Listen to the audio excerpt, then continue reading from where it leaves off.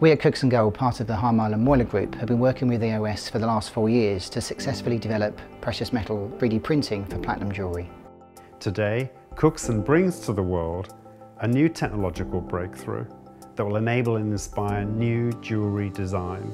Platinum has been dubbed the holy grail of this technology as sometimes platinum can suffer shrinkage issues when being cast. With platinum 3D printing we don't suffer from any shrinkage issues when casting. We can produce articulated parts, hollow structures, thin wall thicknesses and areas that go from thick to thin, thick to thin, which is something that can't be achieved by other production techniques.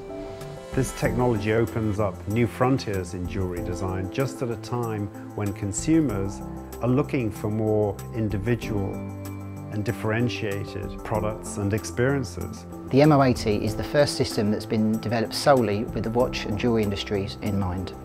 The technique is highly customisable, there's no tools, there's no moulds required, it's going to be a very good process for fast prototyping and of course there's no waste, we have a high yield in the material so everything that goes into the process can be reused afterwards.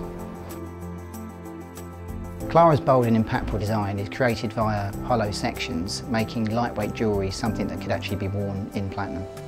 I wanted to create a piece that would use this amazing new technology.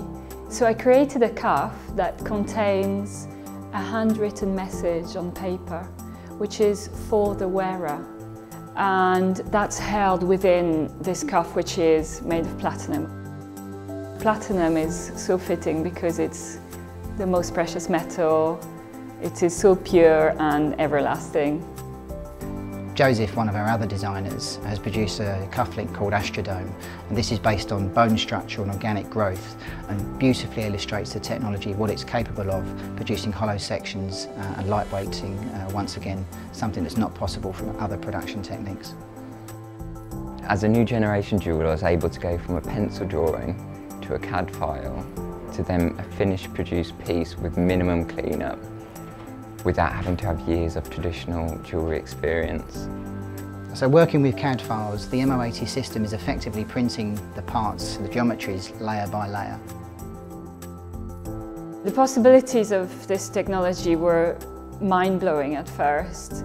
The thing I enjoyed the most about working with platinum was the beautiful colour and density and straight away you get this sense of modernity and sophistication.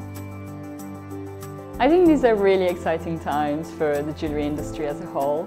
This technology now allows the jeweller to produce pieces that will speak to individuals in a very personal way, allowing consumers also to be part of the process from conception right through to execution. There's really exciting times ahead for platinum jewellery and direct precious metal 3D printing.